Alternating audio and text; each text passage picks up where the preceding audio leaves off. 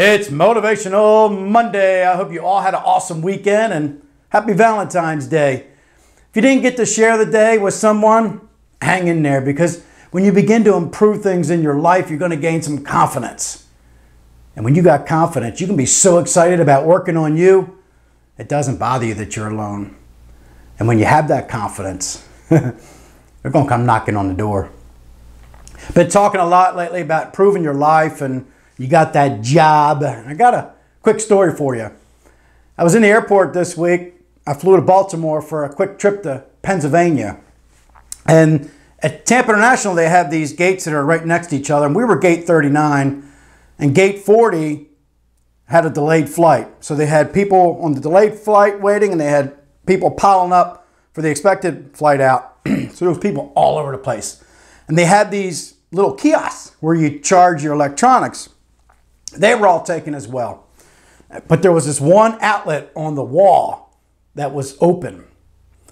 Problem was, man, there was a big old dude sitting right next to it. I'm telling you, this guy, football big. He was like 6'5". He had shoulders probably four feet wide. So, but I wanted my electronics to be charged, so I went up and sat next to him and I plugged my stuff in. I could just tell he wasn't happy. He just had a frown on his face. He looked like he was going to rip somebody's teeth out. And his little boy walked over to him and they exchanged some small talk. And the little, he said, Go sit down. And I could tell by what the kid was wearing that they had just got back from a carnival cruise. And I said, Did you enjoy the cruise? He said, Miserable, absolutely miserable. I said, Really? I said, Well, we're not big cruise people either, but you know, what happened? He said, Oh, the water was rough, weather wasn't really that good, and I just don't like being trapped. All those people on that boat, it just I get one week's vacation and I'm trapped on a boat.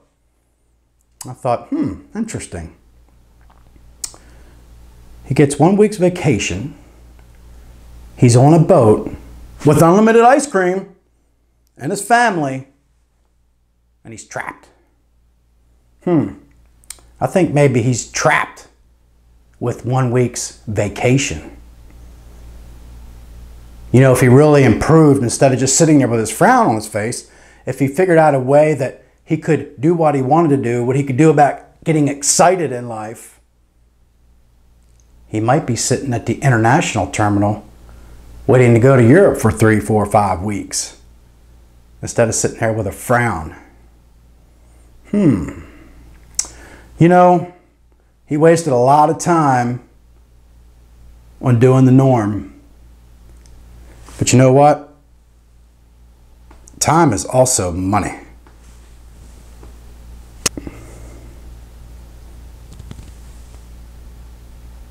Ha!